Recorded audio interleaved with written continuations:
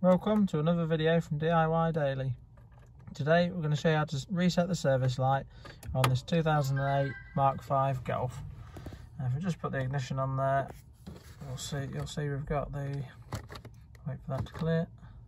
Uh, servicing 500 miles there. Uh, all you need to do is turn the ignition off. We're going to press and hold the zero button there while turning the ignition on to start with. We'll do that now.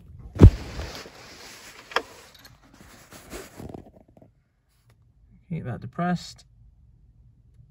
Now release the button and press the minute button there. Now turn the ignition back off. Back on again.